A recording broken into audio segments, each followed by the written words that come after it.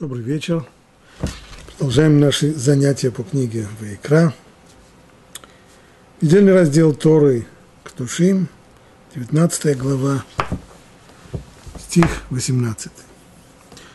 Не мсти и не храни злобы на сынов твоего народа. Люби ближнего твоего, как самого себя. Вот мы дошли до этого известного очень стиха «Веавта лереха камоха» «Возлюби ближнего своего, как самого себя».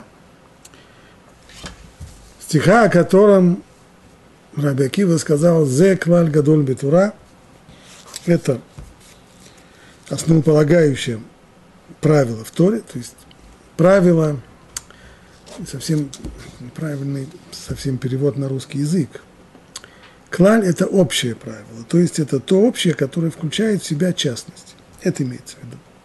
То есть из этого общего утверждения выходит целый ряд важных частных принципов, законов, на которых строятся заповеди Торы. Так сказал Рабиакива, вещь это очень известная, вместе с тем конкретное содержание этой заповеди – довольно трудно определить. Я нажимаю на слово «конкретное», потому что мы говорим здесь не о декларативном содержании этой заповеди. Всегда нужно различать. Есть много лозунгов замечательных, которые люди воспринимают их на уровне лозунгов, деклараций, но, безусловно, не имеют в виду их практическое, реальное применение. Но мы говорим здесь о заповедях Торы. А заповеди Торы, они прежде всего требуют именно их практического применения, реализации на практике. Так что конкретно сказано здесь? Если я должен полюбить ближнего своего, как самого себя, скажем. Если я отправляюсь сегодня в магазин, чтобы купить себе пару туфель, Очевидно, что в этом, в этом поступке, покупке пары туфель, есть акт э, любви к самому себе. Если бы я себя не любил, то ходил бы по сей день э, в старых э, стоптанных туфлях, потому что если я себя не люблю, так жалко тратить деньги на того, кого не любишь. Значит, если я покупаю туфли, то я здесь проявляю акт любви к самому себе. Но если Тора требует от меня – любить ближнего так же, как я люблю себя самого. Это значит, что я должен купить пару туфель и всем остальным ближним тоже. Я сейчас не говорю о том, хватит ли у меня денег на то, чтобы купить туфли всем ближним. А предположим, если бы у меня не было этого ограничения. Была бы у меня возможность всем своим ближним, предположим, ближних у меня было бы не так много. Значит ли, что покупая туфли себе, я должен купить туфли всем остальным своим ближним? А если нет, то как понимать то, что написано здесь? Как к этому относиться? Прежде всего, посмотрим, что пишет в своем комментарии к об этом стихе Рамбан. Смысл вот этих последних слов в стихе, подчеркивает о последнем, потому что начало стиха, оно достаточно просто понимается, не мсти, не храни злобы на сынов твоего народа, люби ближнего своего, как самого себя. Вот, этих, вот эти последние слова, требования, как самого себя, следует понимать как явное преувеличение. То есть э, не может быть, чтобы Тора требовала здесь как самого себя. Но если так, что это значит? что это тоже декларация, просто лозунг. Прежде всего, почему утверждает Рамбан, что нельзя понимать это, что следует понимать это как преувеличение. Ибо сердце человека не в состоянии примириться с предписанием любить ближнего, как самого себя. Более того, продолжает Рамбан, сказано в Талмуде, что уже пришел Раби Акива и научил, написано – в другом месте Торы, «Вехай, Ахиха, Имах». То есть, Из этого он делает вывод, пусть живет твой брат с тобою, сделал отсюда Рабиакива вывод, хаеха кодмим лихаей хаверха, что означает, что твоя жизнь важнее жизни ближнего. Итак, Рамбан привел два аргумента. Два аргумента в пользу своего утверждения о том, что вот это требование как самого себя – это преувеличение. Первый аргумент практический, а именно, человек не способен любить ближнего как самого себя. Не способен. Если мы только снова уходим от лозунгов, деклараций и душесчипательных фраз, то реально человек, безусловно, прежде всего любит себя, и никого другого он не сможет полюбить, как себя самого. Весь мир человек воспринимает через самого себя. И все отношение его к остальным людям – это через самого себя. Поэтому совершенно нереально для человека любить других как самого себя. А нам очевидно с другой стороны, что Тора не предъявляет к человеку нереальных требований. Это первое, первый аргумент Рамбана. Второй аргумент непрактический. Второй аргумент – это уже принципиальный, а именно, с точки зрения принципов Аллахи, человек на практике должен предпочитать свою жизнь и свои интересы интересам других людей.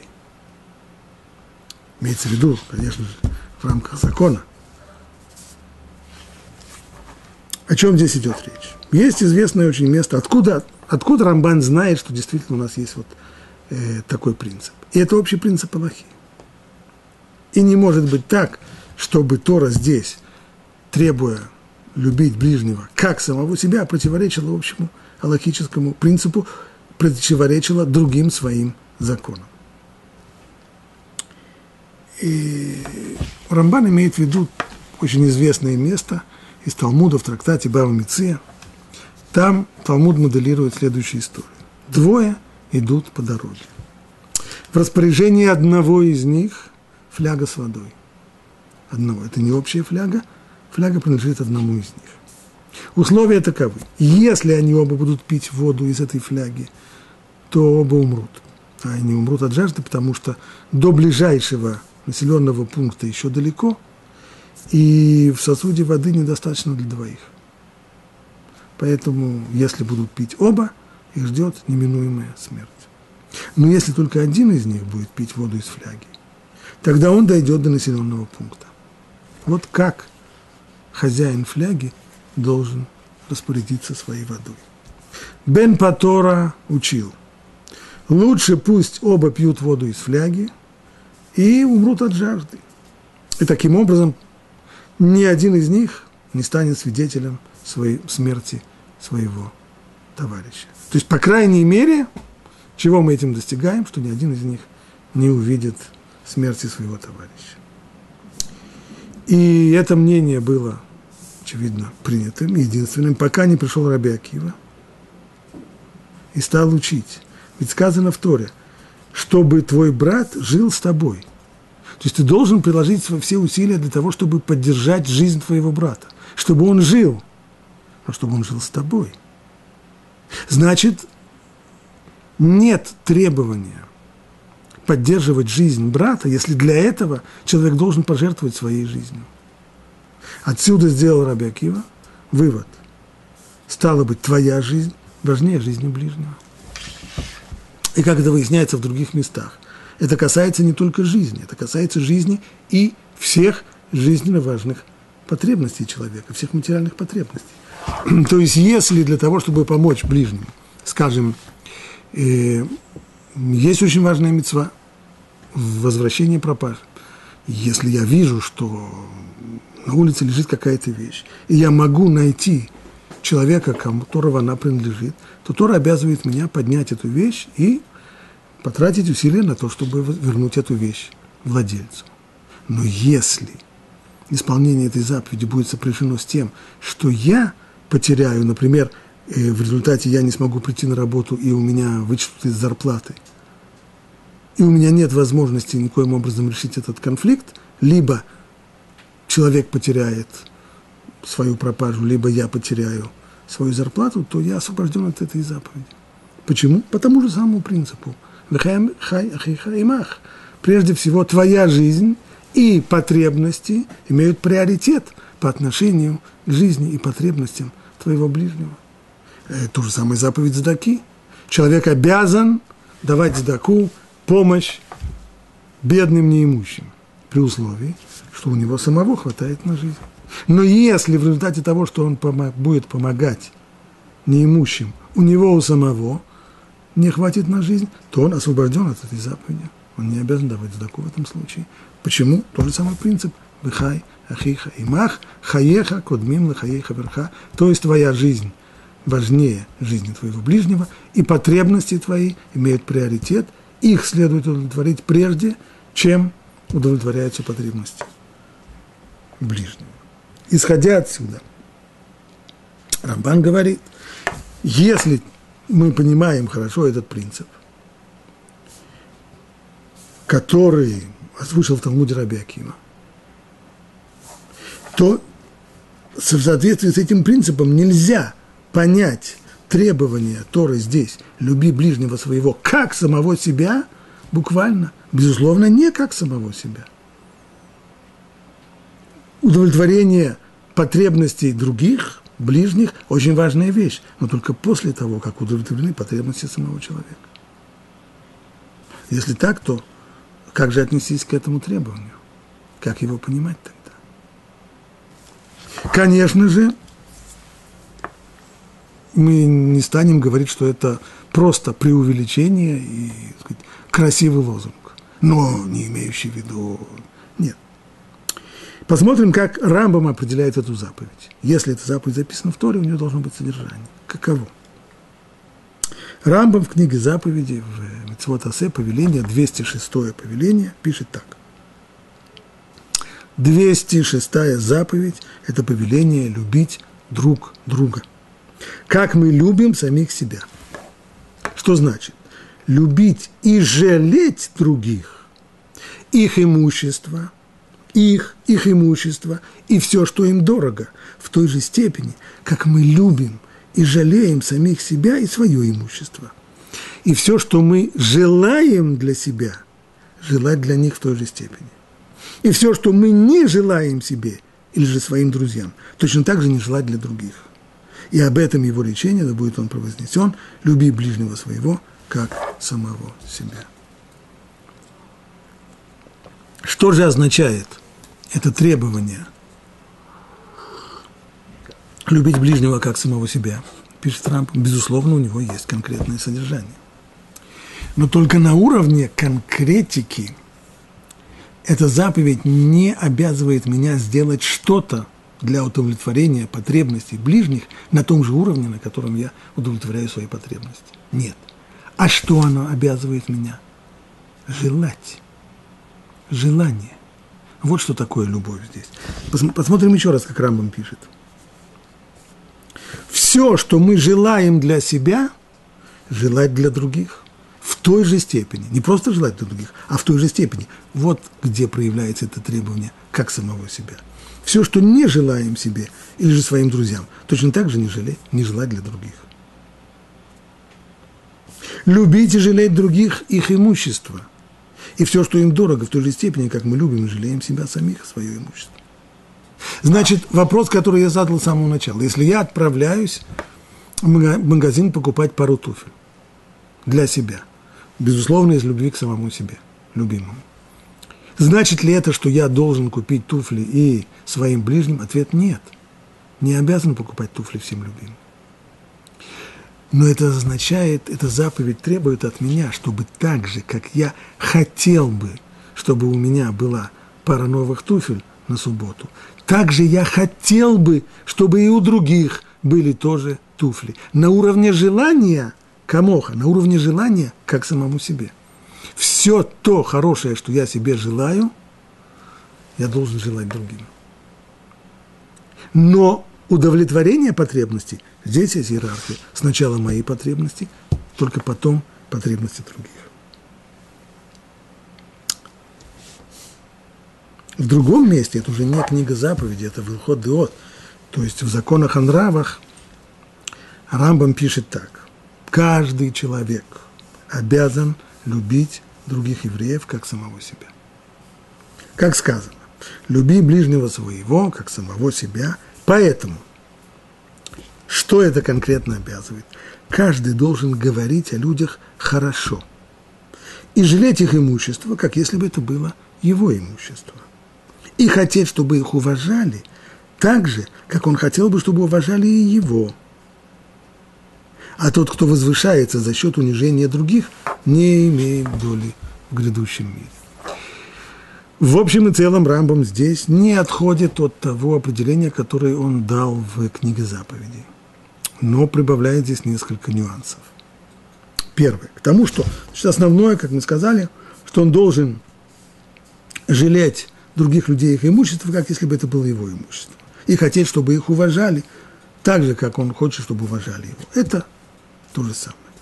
А новый нюанс, который появляется здесь, каждый должен говорить о людях хорошо. Вот здесь появляется, пожалуй, первая, первое практическое требование. Что же сделать для того, чтобы любить ближнего, как самого себя?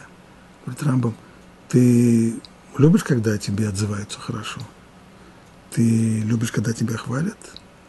Ты получаешь удовольствие, когда тебе говорят комплименты? Да, конечно. Так вот, научись делать то же самое по отношению к другим. Отзывайся о других хорошо.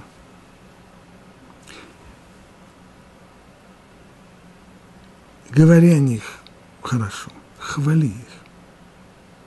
Это то, что требует от нас, это заповедь. Люби ближнего своего, как самого себя.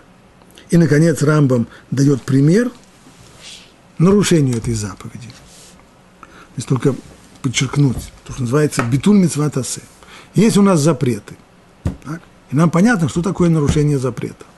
Сказано не делать никакой работы в субботу. Человек, который э, включил зажигание в машине и нажал на газ, он нарушил запрет делать работу в субботу. Сказано не есть свиного мяса, человек, который ест свиную отбивную, он нарушает запрет. Здесь мы имеем дело с заповедью, повелительной заповедью мицват асе. Можно ее не выполнять. Если Тора говорит, что каждый день необходимо накладывать филин, а человек, который не наложил филин, он эту заповедь э, не выполнил. Но Здесь мы говорим про битуль митцватасе, то есть нарушение, когда человек делает действие, в результате которого заповедь явно оказывается невыполненной или ее невозможно выполнить.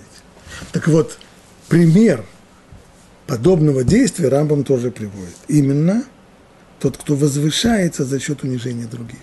То есть, когда человек возвышает себя в глазах окружающих за счет унижения других – Например, когда он в своем рассказе ставит свое поведение против поведения другого человека, который в подобной ситуации повел себя хуже, и на фоне того другого человека, который плохо себя повел, мое поведение выглядит благородным, э, героическим, э, праведным, э, честным, я не знаю каким.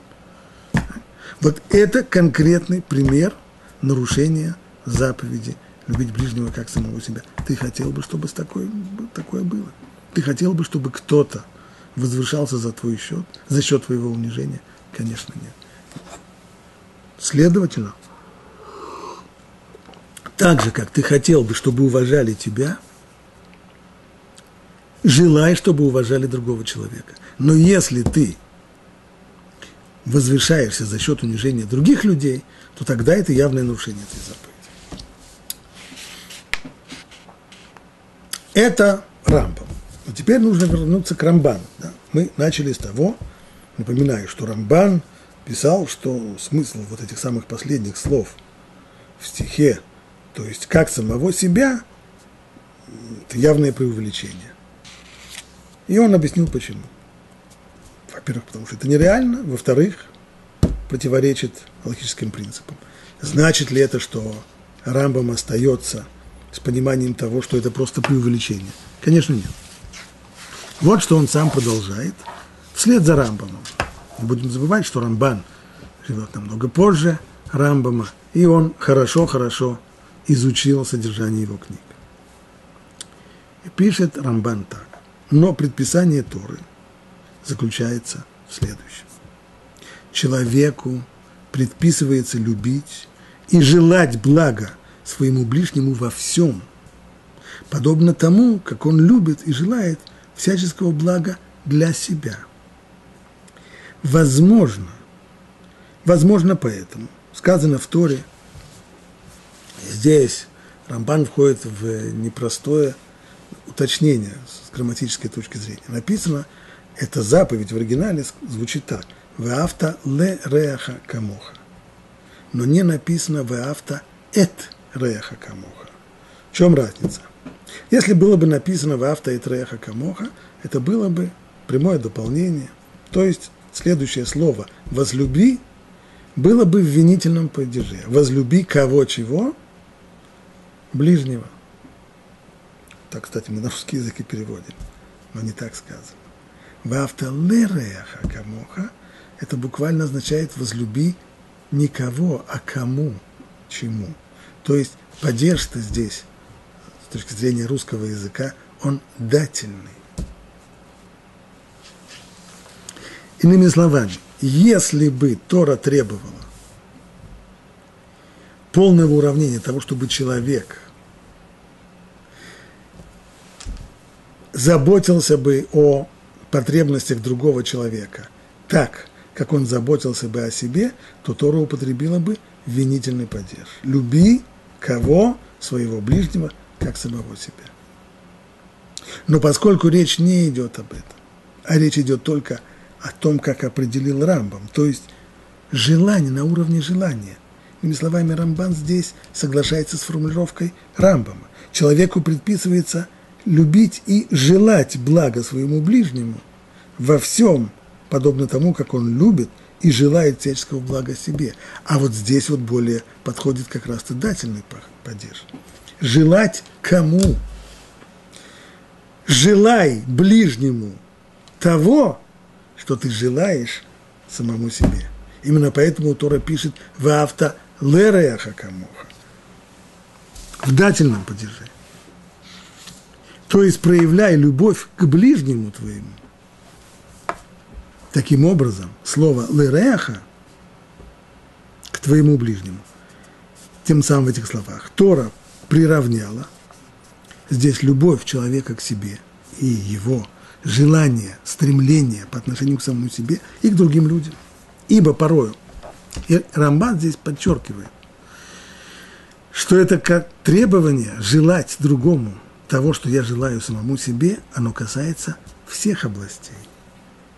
Ибо порой человек проявляет любовь к другому человеку только в некоторых отношениях.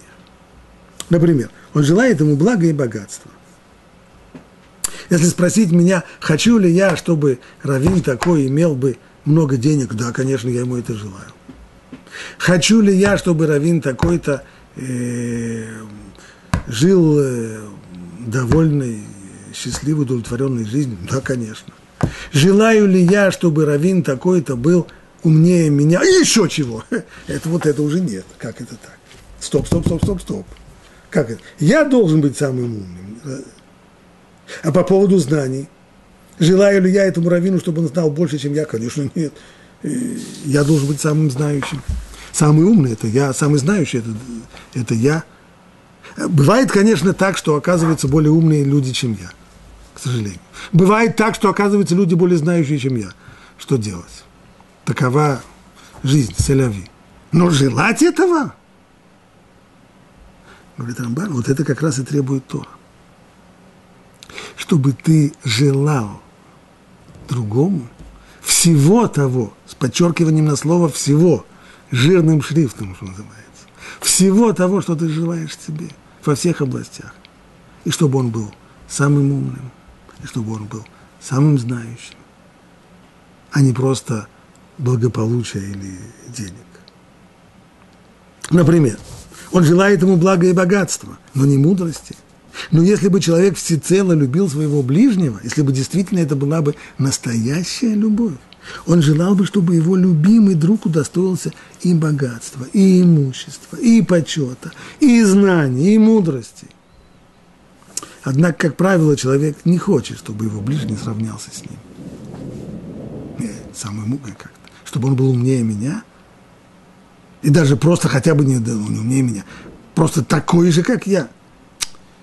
Человек обычно хочет, чтобы другие были менее умными, чем он, менее способными, чем он менее знающим, чем он. Человек в своем сердце всегда желает, продолжает Рамбан, чтобы у него было больше блага, чем у ближнего. Поэтому Тура и повелела. Коли такова природа человека, Тора требует, чтобы человек поднялся над своей природой. Тора потребовала, чтобы в сердце у человека не было этой низкой зависти. Вот у нас, кстати, появилось еще одно понимание того, каким образом человек может нарушить заповедь любви ближнему, как самому себе, завистью. Ведь что есть зависть? Это ревность по отношению к человеку, который обладает каким-то преимуществом. Если я завидую кому-то, что он знает больше, так, что он так много знает, то тем самым я нарушаю вот эту самую заповедь. Дело не только в том, что зависть вообще это отвратительное качество и так далее, так далее. Здесь само вот это вот чувство зависти – которое испытывает человек, и есть нарушение заповеди любить ближнего, как самого себя. Ведь если бы я его на самом деле любил, то я бы не завидовал бы его знаниям. Я бы, наоборот, радовался тому, что у него так много знаний. Напротив, человеку следует любить и желать своему ближнему всяческого блага, подобно тому, как он желает для самого себя. И не ограничивать свою любовь к другим людям. То есть не то, как люди готовы любить ближних в некоторых областях, ограничивать, то есть желать им, может быть, э, благополучия, желать им здоровья, желать им денег, желать им еще что-нибудь, но, но не конкуренции же с самим собой. Этим объясняется сказанное о Йонатане, о его любви к Давиду. Ибо он любил его, как самого себя. Вот у нас есть пример в Танахе такой настоящей любви написано о Йонатане. Кто такой был Йонатан? Йонатан был сыном первого царя Израиля Шауля. А его другом был Давид, следующий, второй царь Израиля. В какой-то момент, после того, как Шауль уже был царем Израиля, Всевышний решил, что он не годится в результате слабости, которую тот проявил, он не годится быть царем Израиля. И в этот момент пророку Шмуэлю было повелено идти в город Бейтлехем, в дом Ишая, и там помазать на царство будущего следующего царя, который заступит на царство после того, как Шауль освободит это место.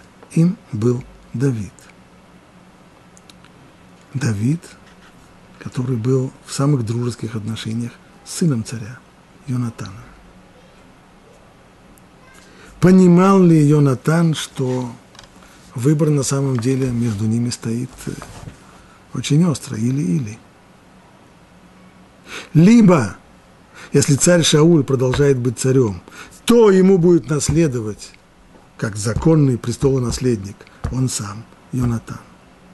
Либо царем станет Давид, и тогда Йонатан, при всем желании, царства ему не видать.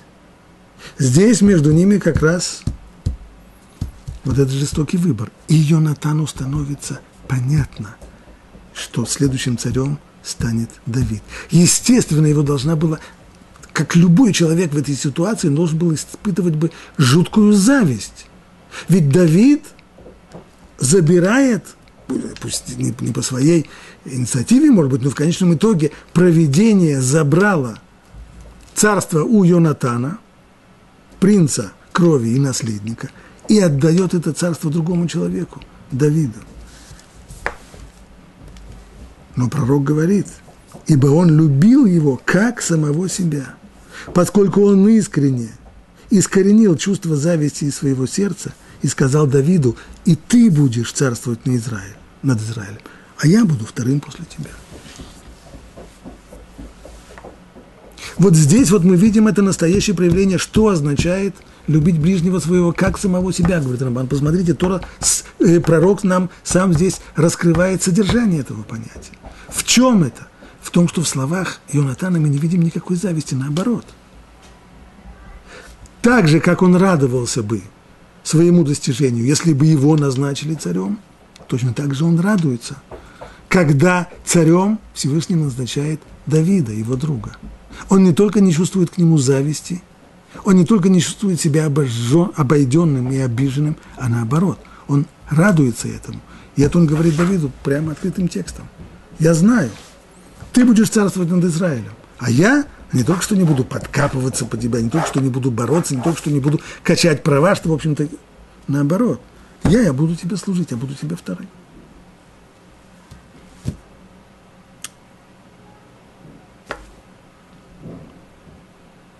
В общем и целом мы видим, что подход Рамбана к определению этой заповеди такой же, как и у Рамбама, то есть заповедь возлюби ближнего своего, как самого себя, вот в этом аспекте, как самого себя, полное приравнение себя к другим, исполняется только на уровне желания. Рамбан только здесь прибавил, заострил наше внимание на том, что заповедь нарушается – когда человек испытывает зависть по отношению к другому. Рамбам говорил о нарушении заповеди, когда человек возвышается путем э, унижения других. Вот это первый подход Рамбама и Рамбана. Есть еще один подход. Этот подход не единственный. Второй подход.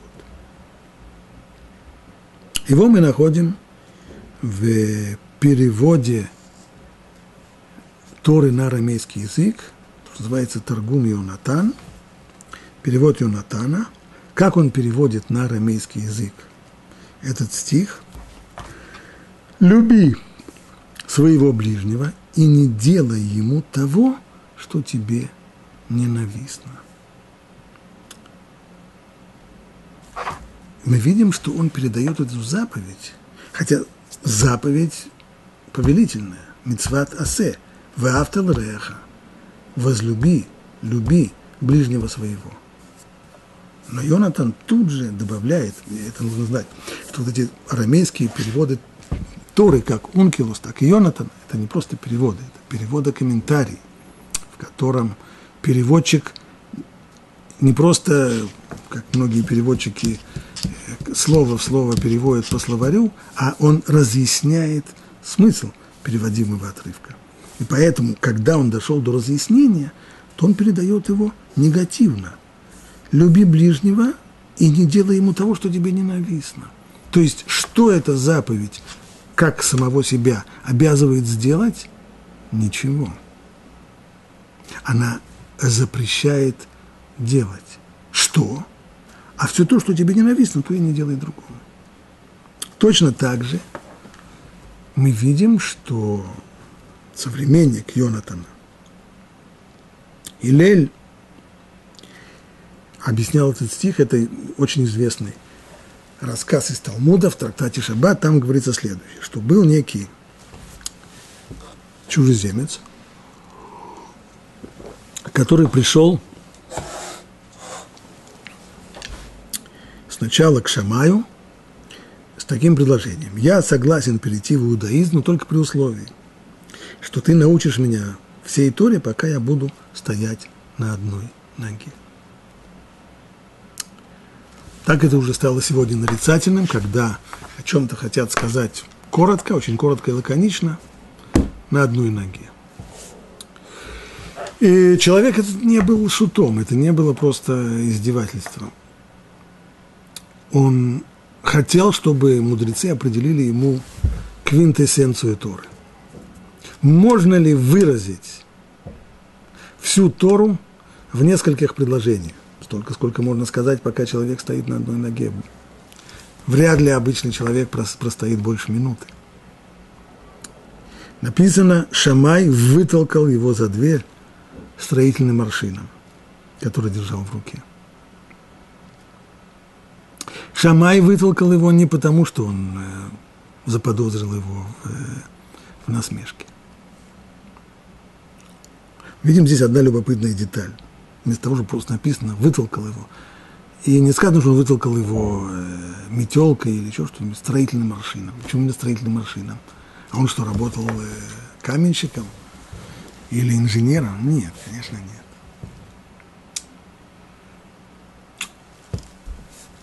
Деталь это говорит вот о чем. Понимание Шамая было, что Тора – это строение. Строение всегда, крепость этого строения зависит от фундамента. Если самое мощное, красивое, великолепное строение, поставить его на одной ножке, оно не устоит. Должен быть настоящий крепкий фундамент. Поэтому любая попытка высказать какую-то квинтэссенцию Торы, суммировать всю Тору в одной или в нескольких фразах, она обязательно приведет к искажениям.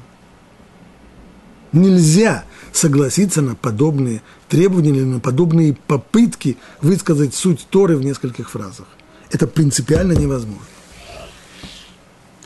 Поэтому Шамай вытолкал его. Дальше написано, что этот же самый чужеземец с такой же просьбой пришел к напарнику Шамая Хилелю. И тот принял его. То есть, когда он услышал вот это вот предложение, что тот готов принять, сделать гиюр при условии, что его научат всей Торе, пока он стоит на одной ноге, Илель согласился хорошо. И сформулировал ему это правило. То, что ненавистно тебе, не делай твоему ближнему. В этом заключается вся суть Торы. А все остальное – лишь пояснение и уточнение этого общего правила. И при, при этом прибавил еще одну фразу. Зиль, гмор. Теперь иди и учи. То есть Илель понял, как и Шамай, что это не шут Гороховый, что это серьезный человек. Он пытается услышать суть Торы, ее квинтэссенция.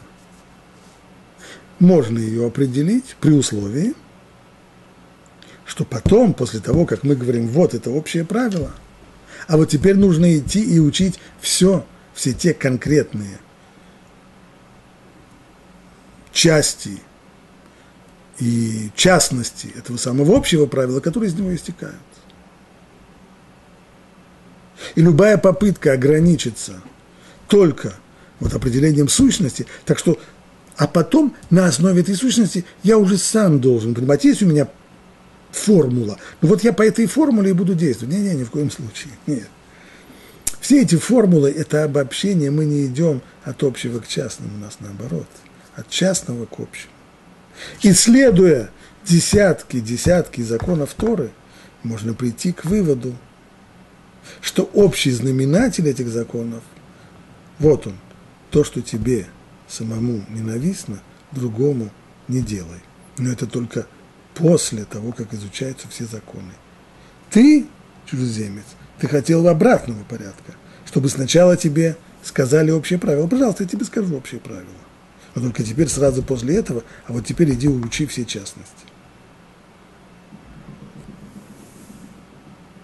Так или иначе. И Илель, и как и Йонатан вместо того, чтобы сказать, что суть Торы, как говорил Раби Акива, в Реаха Камуха, люби ближнего своего, как самого себя, как и сказано в Торе.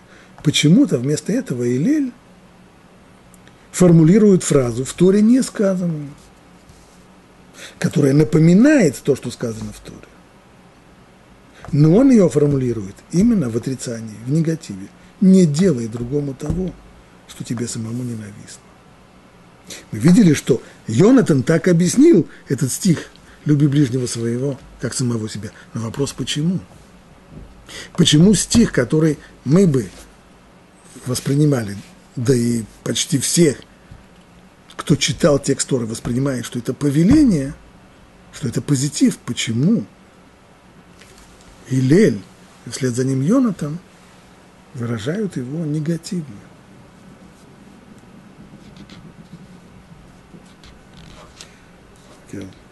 В одной книге описывается как один известный в э, прошлом, два поколения назад раввин, который должен был по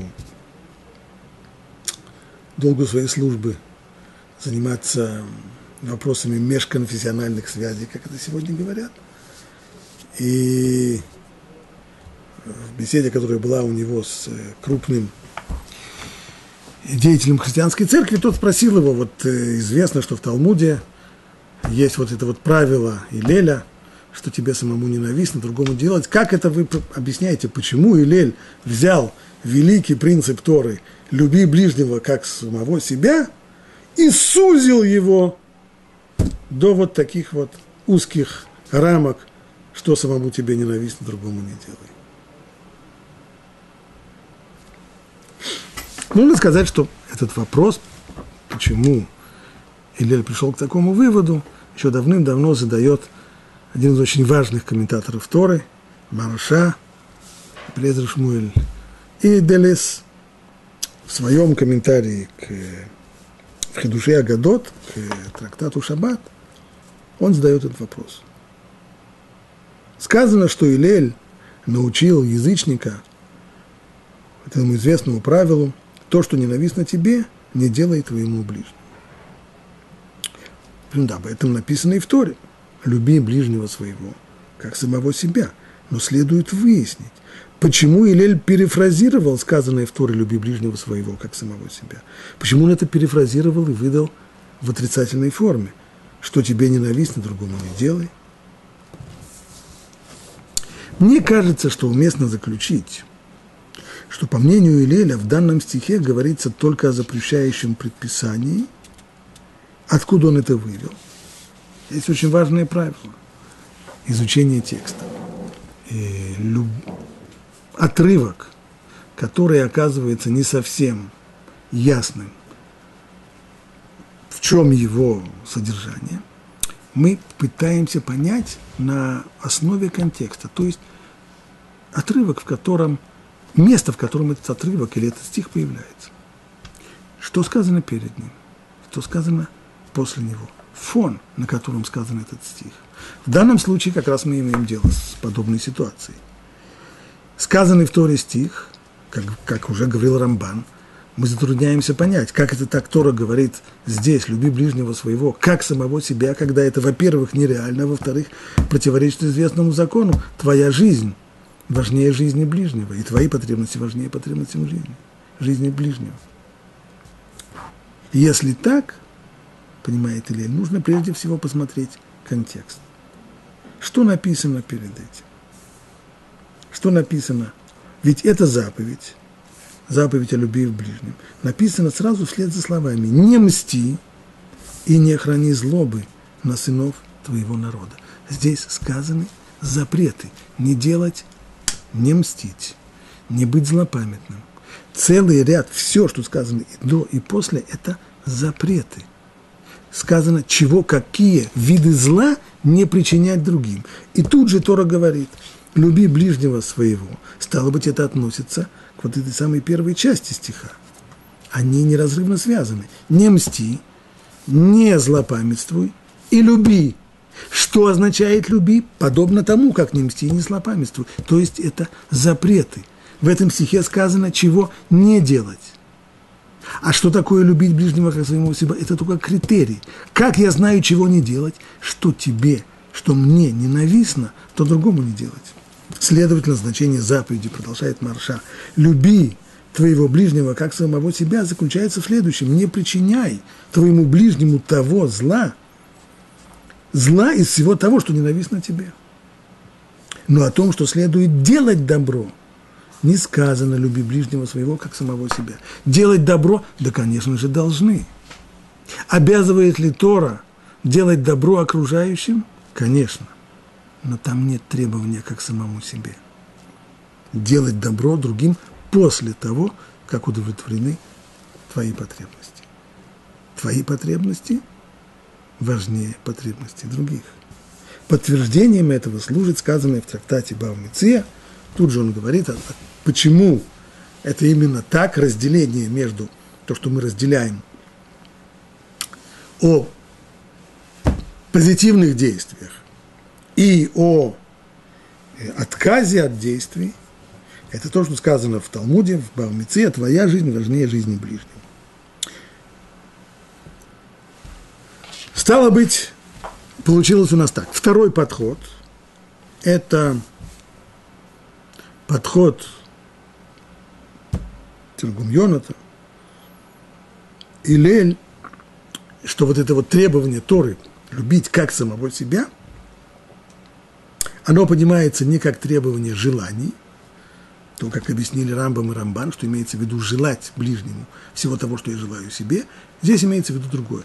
Имеется в виду именно отрицание, не делать, отказываться. То есть на уровне требований, что делать, нет условия как, само, как самого себя. Но на уровне отказа от действий, там, да, безусловно, требования как самого себя. Всего того, что ты не хочешь, чтобы люди сделали тебе, всего этого не делай ты другим людям. Теперь я хочу вернуться к тому отрывку из трактата Бавмице, который сегодня оказался в центре нашего внимания.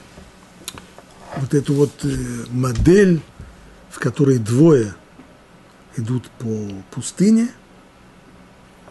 У одного из э, них есть фляга, и Боливар не выдержит двоих. Если оба будут пить, то оба умрут. А если один будет пить и не поделится с другим, то он выживет. Конечно же, полученное нами в детстве воспитание говорит, что человек должен проявить здесь рыцарство и поделиться со своим товарищем. Да, оба умрут, но зато умрут как товарищи. И ни один из них не увидит смерти своего друга, когда сам будет э, подтягивать воду из своей фляги. Именно так утверждает в Талмуде, это мнение первое, Бен Патора. Раби Акива не согласился с ним и привел доказательства из стиха «Вихай ахиха имах». Пусть живет ближний с тобой. А если у нас есть спор, то как Аллаха – До сих пор все рассуждения строились на понимании Раби Акивы. Но, может быть, Аллаха не как Раби Акива?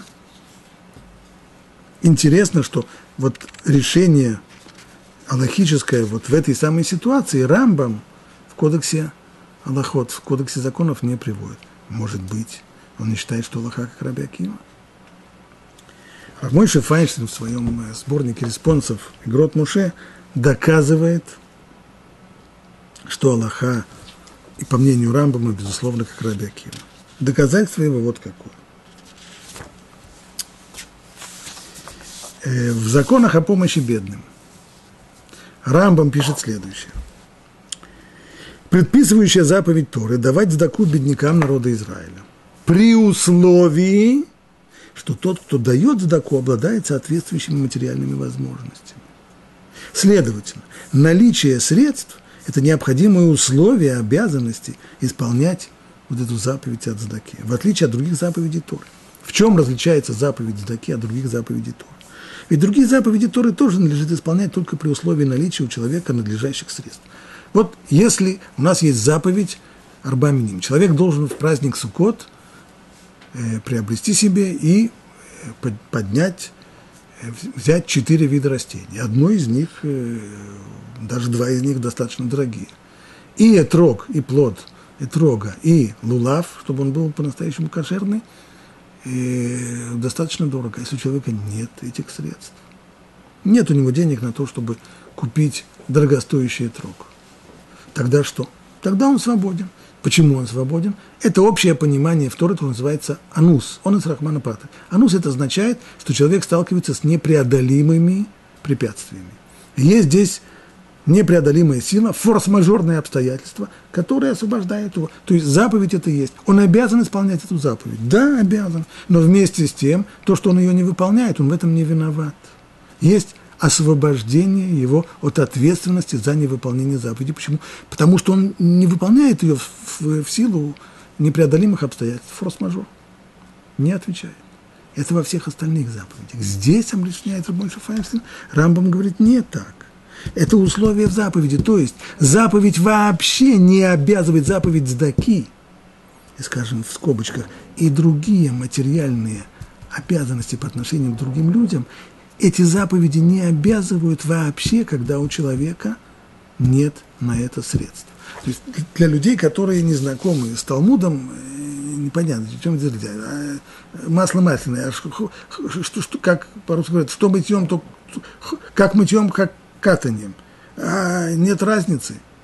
Разница, безусловно, есть. Во всех остальных заповедях обязанность остается заповедью. Человек обязан исполнять заповедь, но он только не отвечает за ее невыполнение вследствие того, что у него нет денег. Он вынужден, он анус, форс-мажор. Что касается заповеди Цдаки, то он вообще, эта заповедь вообще не начинается и вообще не обязывает его, если у него нет достаточно средств на свои нужды. Откуда у Рамбама такое определение? Говорит Рабойши Файнштейн. Конечно же, это из слов Раби Акива. Вихай, Ахиха и Мах. Как сказано в Торе, пусть ближний твой живет вместе с тобой. Это означает Хаеха, Кодмимна, Хаеха, Верха. То есть твоя жизнь и потребности твоей жизни, но и важнее, чем жизнь и жизненные потребности твоего ближнего. Стало быть, если Рамбам вывел такое условие в заповеди Цдаки, он мог его вывести только на основании слов Раби Акива. Стало быть, мы получили подтверждение – и доказательство тому, что Рамбам Пасак, что Рамбам постановил в этом споре между Раби Акива и Бен Паторой, постановил, как Раби Акива, твоя жизнь важнее жизни твоего ближнего.